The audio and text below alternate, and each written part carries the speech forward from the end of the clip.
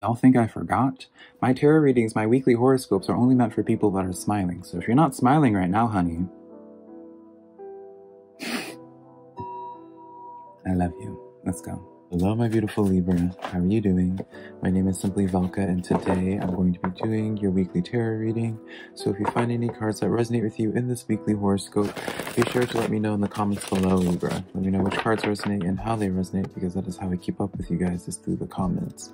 As well, I would really appreciate it if you do enjoy this reading, or Libra, you just enjoy my vibe. I would really appreciate it if you were to take the extra step to give this video a like and subscribe as well, because it does help me out a lot. And anyways, I'm super appreciative of that when you guys take that step to do that for me. But remember, Libra, I'm just a man reading some tarot cards to you.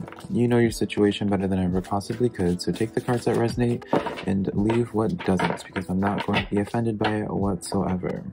Right? I believe my cards here today are just here to give you some food for thought, a perspective for you to consider, but never making the decisions in your life because it's your life to live, not mine and not these tarot cards. So with all that being said, Libra, let's finally just get into your weekly tarot horoscope for today. So let's see where it is that you guys are currently at right now, Libra. How is, how is it that you guys are currently feeling? What's going on for y'all there? How are you feeling? Seven of Fire, Seven of Wands, okay. So this card says, defending your beliefs and decisions, standing your ground, and choosing your battles wisely, Libra. So right off the bat, you Libras are probably feeling extremely opinionated on something. Uh, you probably are feeling some type of way. Uh, uh, hmm, how do you want to put this? I can't help but feel like Libra, uh, especially when there's this emphasis of standing your ground with something. It's almost as if uh, you're putting something in perspective and being like, you know what? Let's just give like a narrative, Libra. You're seeing, you're noticing like someone's being extremely passive aggressive to you. Someone's being dismissive of you and your experiences, right? Uh, you're being asked to to uh, not allow the situation to question yourself, question your authenticity, question your, you know, just leaving you in a place of just question, right? How many times can I say question, Libra? But with this dynamic, uh, notice when it says picking your battles, it's almost as if Libra, you're being asked to identify uh, a person in your life where it's just, or a person situation where it could potentially shake how you view yourself and putting it in perspective and being like, you know what, this just isn't good for me. This is toxic, but do not engage with it is something that I'm getting, right? Choosing your battles wisely is a situation where it's just like, is it really worth engaging with an energy once you're able to acknowledge a situation is toxic or you're able to acknowledge a situation is just serving you in a way that just doesn't feed good energy, good things into you that has you feeling good about yourself. So let's do a water break, honey. Ah, yeah, so let's get into some clarifying cards for this Libra, shall we? Let's see what's going on here uh, for the Seven of Wands. Why is it that you feel the need to uh, stand your ground with something, right? Why are you in this sense of feeling like your views are being challenged is something that I'm hearing as well, Libra. So let's see what's going on here. I want one more card. Let's see, this one right here. All right. So definitely involving in terms of, I would say a lot of you Libras, heavily in terms of something that you're trying to manifest, something that you're working on. Definitely could be like a workplace environment thing, Libra, where, you know, maybe you have that passive aggressive coworker or boss that uh, is trying to get into your head and making you feel like you're not doing your job that well, or, you know, because we have here King of Pentacles, the Knight of Pentacles, and the Nine of Pentacles in the reverse.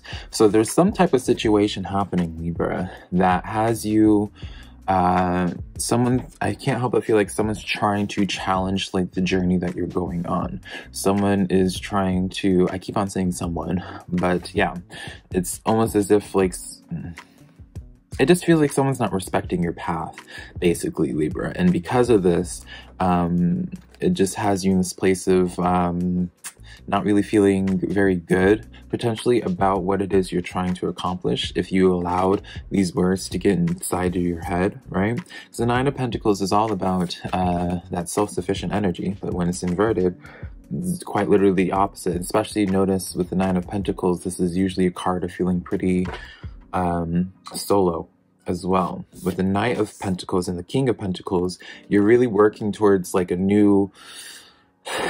I always say like the King of Pentacles is like trying to build up that stable empire, trying to build up like that company, trying to build up something big, like big projects, right? Knight of Pentacles is you just making slow groundwork towards that, right?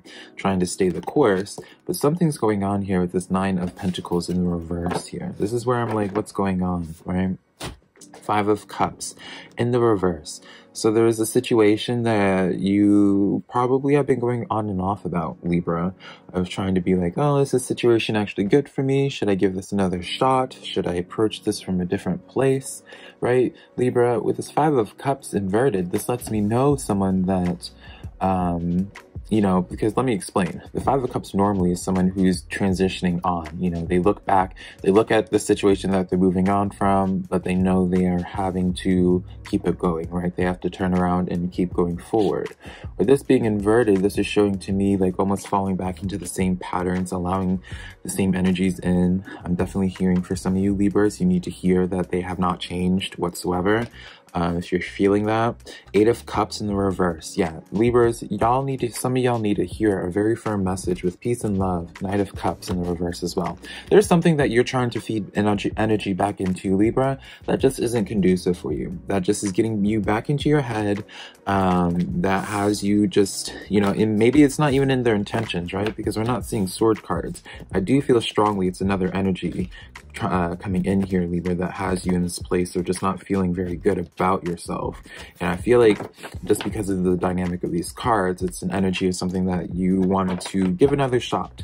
Or maybe perhaps you've been ignoring the red flags for a while because maybe you've been hopeful Libra in that uh, things will change, that they will mature, that they will what have you, right? Because I see you in this place of wanting to just really create. Um, because you, we got nothing but wands cards and pentacle cards, like heavy pentacle cards for you, Libra. So you are really, your focus is really trying to bring in stability, really trying to just manifest. And so with this nature, it's almost like because you're trying to manifest, you're really trying your best and to maintain perhaps even like a as high of a vibrational state as one can be in. And you take this as a sign of like rather than uh moving on from something, you're just like, uh, maybe I can go from a different approach, right?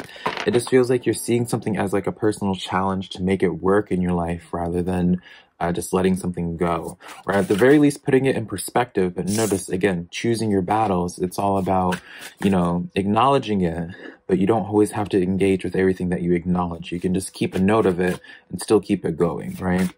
Uh, it does, does, it does definitely feel like you just need to put someone in perspective and just be at peace with it or like the situation and then just like keep it going, right? Don't even engage with it. Just keep on trying to create and set the path for yourself.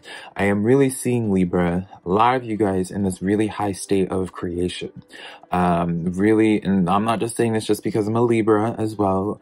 Um, but like I've noticed there's like a pattern for all the tarot readers this week as well. Recently, uh, Libras are getting really fabulous readings, uh, in terms of manifesting and creating. It's not, it's a common theme for all of the tarot readers so far. Um, I know this because I look at Libra readings, right? Um, but I really do see you kind of like blazing this trail, whatever it is that you're trying to create, Libra. People are paying attention. And when people are paying attention, people can feel some type of way, right? They'll try to like bring you down, whether it's consciously or unconsciously, whether it's intentional or unintentional, right? Maybe they're just insecure. Regardless of it, like it does feel as if you're having a lot of eyes on you, because that's how I see the Seven of Wands as well, as like a lot of eyes noticing you, Libra. And it's, you know, with that exposure just comes with varying opinions, varying views, um, varying challenges, and you just cannot allow any, just don't, I just keep on feeling, uh, Libra, just not to engage. Just keep on focusing on creating, right? Things, everything will figure itself out. Um, you have the blue heron card. Notice again, this is another, similar to the seven of wands. This card says, Libra, Make a stand for what you believe in and do what you feel is right in spite of judgment and disapproval of others.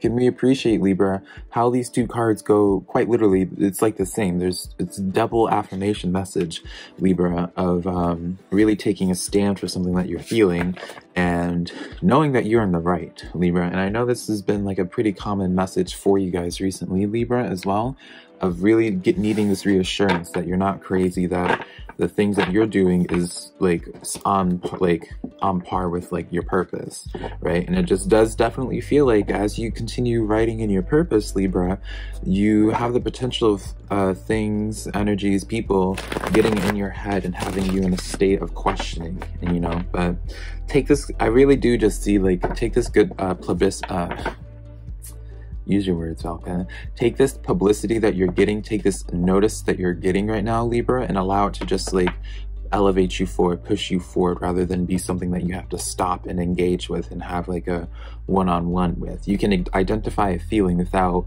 um, having to call them out on it, right? But you also can not have to call them out on it, but not also try to ignore and give them the benefit of the doubt either, and continuously like allowing them to have like this heavy weight on you, right? Very much so like a put, put like a invisible boundary there. I wanted, I pulled a card to see how this is going to pan out for you this week, Libra. We have the High Priestess card. The, the so again, really an affirmation, Libra, that you're not crazy. You even had this card before. I believe in your last week's reading, Libra, of where it's just like you were right about something. Like what you've been identifying, you've been right about Libra, and you consistently are getting the same message, reaffirming Libra that you're in the right, that you're not crazy, you're noticing something, right? And mm, it's interesting. So Archangel uh, Haniel is coming in this week if you're open to connecting to archangels. Um, Libra, as well as the number two. Write down the number two for numerology. Uh, this card says though, uh, listen to your intuition, have patience at this time, and to consider carefully what it is that you want before acting, right? Notice there's this theme as well for you, Libra, of where it's like really asking you to sit down and think about things, really just like observing but not acting necessarily. There's just this constant pressure just needing for you, Libra, to observe, allow things to put stuff, allow things to be put into perspective, but, you know, don't engage. It's just something I keep on hearing. It's just don't engage with this energy. So let's see what this is about, right? Let's get some clarifying cards. Let's see. wow. So there's definitely a situation here, Libra uh, that you just do not like. We have the Wheel of Justice in the reverse, the Justice card in the reverse, and the Seven of Wands coming in here in the upright. So again, notice the Seven of Wands caught following you. um, with the Justice card and the Wheel of Fortune in the reverse, this is, I mean, this is your energy, Libra. Um, something that you feel is just counterintuitive to your growth at this point on. It's, and it's again with the Seven of Wands, um, I really do. What is this about, Libra? Is this a person? Is this like an event that's happened recently, Libra? Something has you in this place that it's just like, it's like a leech, something that just like clings on to you and really just, uh, it's like this like devil on your shoulder just really feeding doubt feeding just i don't feel like it has you feeling good judgment card comes in let's see the Fool card, and the Five of Wands. Okay, yeah. Some type of action needs to be taken, Libra, from your end with this, because with the Five of Wands, the Fool card, and the Judgment card, I really do see this as like you needing to take action in terms of um, how you want to approach this conflict, right? So maybe before Libra, you always have engaged with conflict, whether it's through conversation or maybe for some of you Libras, you whenever there's like this sense of just like stressors in your life, uh, you start shutting down a little bit and feel like you're being asked to change up your approach and how you cope with things, how you handle things. Especially with this uh, High Priestess card, it's like, again, this affirmation, affirming message, Libra, that you're not crazy in your experiences, not at all. Um, you're not crazy in the thoughts and what have you. But, um, we just need to change things up because I do see like a pattern coming up for you, Libra. I'm noticing the pattern just with your reading, so I just want to just say this. Peace and love, honey, right? Make sure, Libra, that you're not catching yourself in like the same coping me mechanisms that you usually will do. Um, when it comes to dealing with like stressors in your life, if that makes sense. So let's pull an animal oracle card for this situation as well. Two cards came out. We have the mouse card, interesting, and the emu card. So I want to talk about this mouse card first. This mouse card says you're overlooking some important details, so pay attention, closer attention to what's going on right? Notice another observing card, Libra. You're really just being asked to keep your eyes peeled. Something's, there's, would for Spirit to really be bringing this forward, uh, Libra, uh, something's going on. Something's going on that I feel like you really want to know about. Um, but again, I don't feel like you're taking action on it. I just, again, feel like it's more about perspective and just seeing things for how they are. And it's through seeing things how they are that gives you the sense of release. Um, so you can just focus on the good things, right? The emu card says this is a good time to go on a new adventure. So yeah, I feel like Libra, definitely, this makes me think about your old reading, one of your older readings where it's asked, where I titled it something along the lines of like packing your bags, Libra. This is giving me a very similar vibe in the sense of where it's like, you know, maybe you've been functioning as like working as a team with, with like some people, or maybe you thought there was like something that was going to be in your life for a long standing time. And I feel like now, Libra, you gotta kind of just accept the situation for how it is and start planning your life accordingly without it for the long term, right? You don't have to leave the situation now, right? But you have to, at the very least, acknowledge that something just isn't for you, right? And focus on just more creation. I feel like the best thing you can do for yourself at this time is just put yourself on a routine, Libra. Really focus on creating and just paying attention to what it is that's trying to be revealed to you. Because I feel like there's something, something's being sloppy, Something's being sloppy, something's showing themselves, someone's showing like their true colors around you. And it's almost like a bait, I feel, where it's just like, oh, what is Libra gonna do? I wonder if I can piss Libra off this way. I wonder if I can, Libra's really like doing a lot right now. I wonder what if I can bring a distraction forward in that way. So take that all as you will, Libra. Now let's get into your financial and work situation this week. Let's see what's in the works here. Four of Water, Four of uh, or the Four of Cups. This card says missing an opportunity, discontentment, or bo boredom in opening your eyes to the possibilities. Huh. So another card asking for you to pay attention. But what is it about your work life that you're missing this opportunity? Like, what is this opportunity? Can we get a little bit more detail, right? On this, how are you missing an opportunity in the first place? What does this opportunity look like that you're not keeping an open mind to? Oh, okay, Libra. So this Five of Pentacles in the reverse here. Hmm. Libra, I do get the sense of where you gotta, like, I'm gonna be blunt here, right? With peace and love, right? It's really, it's a really good reading in terms of your financial career, but I do get the sense that you guys are going to be going through a little bit of a challenging time, a little bit of like an outcasted time where you feel like you're not belonging, but it's during this time that you take this more so as a sign Libra to create.